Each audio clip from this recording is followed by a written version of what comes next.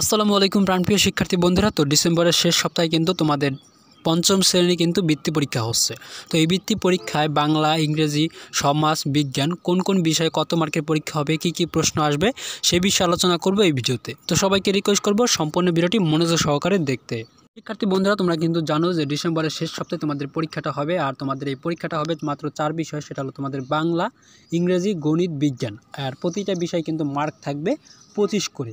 আর তোমাদের এই পঁচিশ পঁচিশ করে মোট একশো মার্কের পরীক্ষা হবে আর সময় থাকবে তোমাদের দুই ঘণ্টা। আর চল্লিশ পার্সেন্ট তোমাদের থাকবে, প্রশ্ন থাকবে লিখিত, আর ষাট পার্সেন্ট থাকবে তোমাদের এমসিকিউ আর প্রশ্ন কেমন হতে পারে, চলো আমরা বিষয়টা দেখে নিই। তো বন্ধুরা, তোমাদের বাংলা প্রথম পত্রের অর্থাৎ বাংলা পরীক্ষাটা হবে পঁচিশ মার্কের তো পঁচিশ মার্কের এক নম্বরের যে প্রশ্নটা আসবে, সেটা হলো তোমাদের অনুচ্ছেদ আসবে একটি, সেটা তোমাদের মূল বই থেকে অনুচ্ছেদ আসবে। আর কতে বলবে যে সঠিক উত্তরটি খাতায় লেখো, পাঁচটা থাকবে, পাঁচটার জন্য পাঁচ মার্ক পাবা। আর শূন্যস্থান পূরণ করো, পাঁচটা থাকবে, পাঁচটার জন্য পাঁচ মার্ক পাবা। আর গতে থাকবে তোমাদের প্রশ্ন থাকবে, অর্থাৎ জ্ঞানমূলক প্রশ্ন, অনুধাবনমূলক পূরক, এইভাবে মোট তিনটা প্রশ্ন থাকবে। তো তিনটা প্রশ্নে তোমাদের তিনটা প্রশ্ন বলতে তোমাদের প্রশ্ন থাকবে। তো এক, একে থাকবে তোমাদের জ্ঞানমূলক, আর একে থাকবে তোমাদের অনুধাবন এবং প্রয়োগমূলক থাকবে এক মোট তিনটি প্রশ্ন এবং তিনটা প্রশ্ন তোমাদের কিন্তু এক, দুই দুই। এভাবে মোট তোমাদের পাঁচ মার্ক থাকবে। আর দুই দাগের যে প্রশ্নটা আসবে সেটা হলো তোমাদের শব্দ দিয়ে বাক্য তৈরি আসবে এবং যুক্ত বর্ণ দিয়ে বাক্য তৈরি করো। এটার জন্য তোমরা পাবা পাঁচটায় থাকবে, পাঁচটায় পাঁচ মার্ক পাবা। আর তোমাদের, আর আরেকটা আসবে সেটা হলো তোমাদের চিঠি বা আবেদনপত্র বা অনুচ্ছেদ লেখা যে কোনো একটা থাকবে, সেখান থেকে তোমাদের পাঁচ নম্বর থাকবে। অর্থাৎ চিঠি থাকবে অথবা আবেদনপত্র থাকবে অথবা অনুচ্ছেদ লেখা থাকবে। অনুচ্ছেদ লেখা বলতে তোমার অনুচ্ছেদ রচনা আসতে পারে, সেটার জন্য তোমাদের পাঁচ মার্ক থাকবে। এটা হলো তোমাদের বাংলা পঁচিশ mark.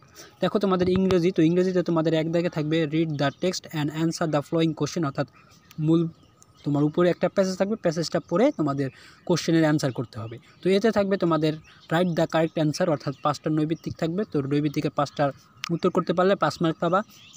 Fill in the blank অর্থাৎ শূন্যস্থান থাকবে পাঁচটা, পাঁচটায় পাঁচ মার্ক আর তোমাদের ফ্লোয়িং দ্য কোশ্চেন অর্থাৎ কোশ্চেন থাকবে ওই প্যাসেজের উপর ভিত্তি করে তিনটা কোশ্চেনের তোমাদের মার্ক থাকবে পাঁচ, অর্থাৎ একের জন্য থাকবে এক মার্ক বির জন্য থাকবে দুই মার্ক এবং সির জন্য থাকবে দুই মার্ক মোট পাঁচ মার্ক আর দুই দাগে যেটা আসবে সেটা তোমাদের রিয়ারেঞ্জ সেন্টেন্স অর্থাৎ একটা সেন্টেন্স এলোমেলোভাবে থাকবে, সেটা তোমাকে সাজায় লিখতে হবে এবং বা ডাব্লিউএস কোশ্চেন আসতে পারে, তো এটার জন্য তোমাদের পাঁচ মার্ক থাকবে।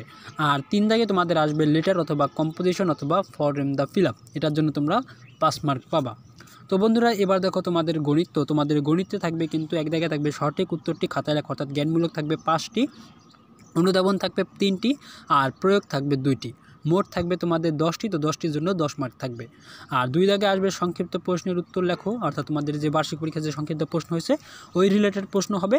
তো তোমাদের প্রশ্ন থাকবে পাঁচটা, এক নাম্বার থাকবে অনুধাবন, দুই নাম্বারটা থাকবে সরি এক নাম্বার থাকবে তোমাদের জ্ঞানমূলক, আর দুই দাগে থাকবে অনুধাবন, তিন দাগে থাকবে প্রয়োগ।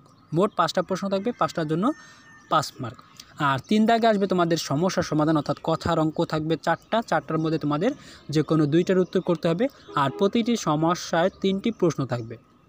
অর্থাৎ ক, খ, গ এইভাবে তোমাদের প্রশ্ন থাকবে। সৃজনশীল আকারে একের জন্য পাবা এক, আর তোমাদের জ্ঞানমূলকের জন্য পাবা এক, অনুধাবনের জন্য পাবা এক, আর প্রয়োগের জন্য পাবা এক। মোট তিনটি, আর তিনটি নম্বরে কিন্তু দুই করে মোট, তিন নম্বরে মোট ছয় নম্বর পাবা আর চার দাগে তোমাদের থাকবে জ্যামিতি, তো জ্যামিতি থাকবে চার মার্ক তো জ্যামিতি তোমাদের মূল বই থেকে পড়ে যাবা।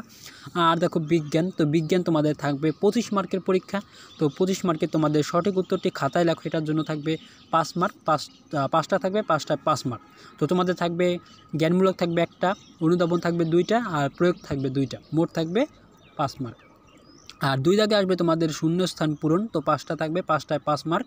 আর তিন দাগে আসবে তোমাদের ডান পাশের সাথে বাম পাশের মিল, এটা থাকবে পাঁচটা, পাঁচটার জন্য পাঁচ মার্ক। আর চার দাগে থাকবে তোমাদের বড় প্রশ্ন, তো বড় প্রশ্ন পাঁচটার মধ্যে তোমাদের তিনটা লিখতে হবে। একে থাকবে জ্ঞানমূলক, দুয়ে থাকবে অনুধাবন, তিনে থাকবে প্রয়োগ। মোট তোমাদের এখানে তিন তিন, চার, মোট এখানে তোমাদের দশ মার্কের এই পঁচিশ মার্ক হলো এই তোমাদের বিজ্ঞান পরীক্ষা।